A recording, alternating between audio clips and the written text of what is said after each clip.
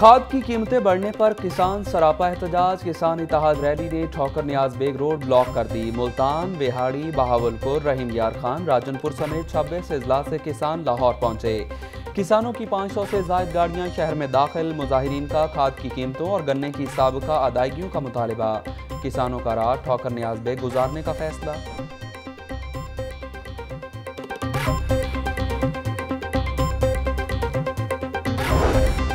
خواجہ برادران کی درخواست ضمانت پر سماعت آج ہوگی۔ خواجہ سعد رفیق اور سلمان رفیق ضمانت میں توسیع کے لیے لاہور ہائی کورٹ میں پیش ہوں گے۔ خواجہ سعد رفیق کے خلاف تین انکوائریز زیر التوا ہیں۔ خواجہ برادران کی جانب سے درخواست ضمانت منظوری کی صدا کی جائے گی۔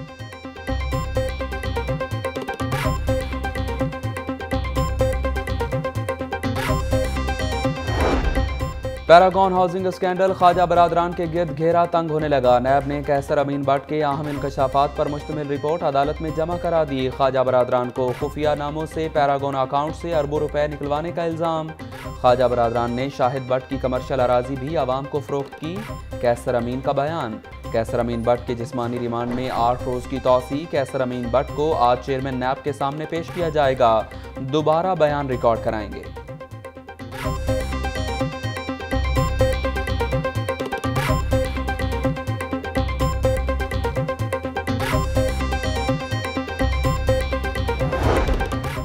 تبدیلی سرکار نے مہنگائی کا نیا بم گرا دیا۔ پاکستان ریلوے نے ٹرینوں کے کرایوں میں دس سے انیس فیصد اضافہ کر دیا۔ محکمہ ریلوے نے تمام ڈویژنل سپرنٹینڈنٹ کو نوٹیفیکیشن جاری کر دیا۔ شہباز شریف کے بلڈ ٹیسٹ میں کینسر کی علامات واضح۔ فاطمہ جناح میڈیکل یونیورسٹی میں شہباز شریف کا دو گھنٹے طبی معائنہ۔ ڈاکٹرز کا شہباز شریف کی میڈیکل رپورٹس پر اظہار تشویش۔ نیب حکام نے میڈیکل بورڈ بنانے میں سست روی دکھائی۔ شہباز شریف کا ڈاکٹر سے مکالمہ۔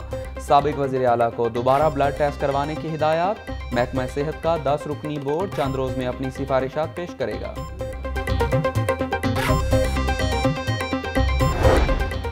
اپنے ہی محکمے میں بھی تبدیلی، صوبائی وزیر کے کانوں کان خبر نہ ہوئی۔ سات ڈسٹرکٹ ایجوکیشن اتھارٹیز کے سربراہان کے تبادلے۔ صوبائی وزیر مراد راس نے مشورہ تک نہ لیا۔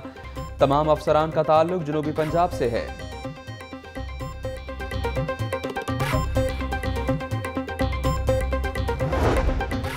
غیر ملکی فنڈنگ کیس میں اہم پیش رفت الیکشن کمیشن نے تفصیلات جمع نہ کرانے والی سیاسی جماعتوں کی فہرست جاری کر دی۔ Tehreek Insaf Gulalai Jamaat Islami, Majlis Wahdat al-Muslimeen, Peoples Party workers سمیت تیس جماعتوں کو نوٹسز۔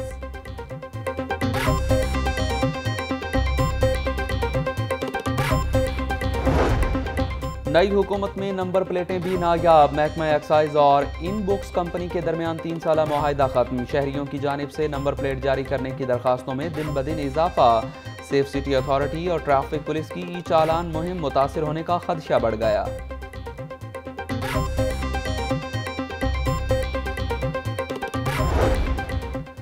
حکومت مالی بحران کا شکار ویسٹ واٹر ٹریٹمنٹ پلانٹ کا منصوبہ ٹھپ۔ منصوبے کے لیے مہنگی ٹیکنالوجی درکار ہے۔ حکومت کے پاس فنڈز نہیں۔ لاہور میں پلانٹ لگانے کے لیے دو سو پچاس ارب روپے لاگت آئے گی۔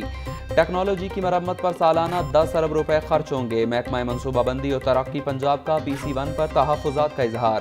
واسا نے منصوبے کے لیے پچاس ارب روپے کی ڈیمانڈ کی تھی۔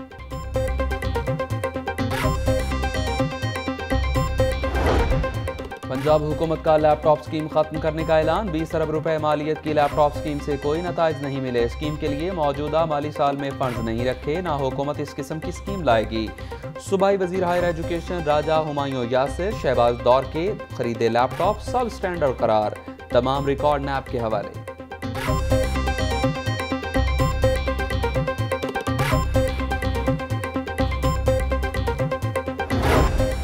پنجاب حکومت اور بلدیہ عزما کے درمیان اختیارات کی جنگ شدت اختیار کر گئی۔ شہر کی دو سو چوہتر یونین کانسلز کے ترقیاتی منصوبے سیاست کی نظر ہو گئے۔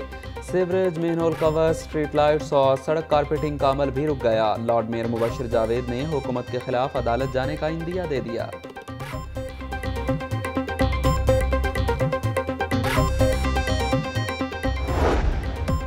اور غیر ملکی ریسلر سٹینی آرن، فرانسیسی خاتون ریسلر میلا سمیٹ کا شاہی کلا کا دورہ۔ رنگیلے رکشوں میں شیش محل کی سیر کروائی گئی۔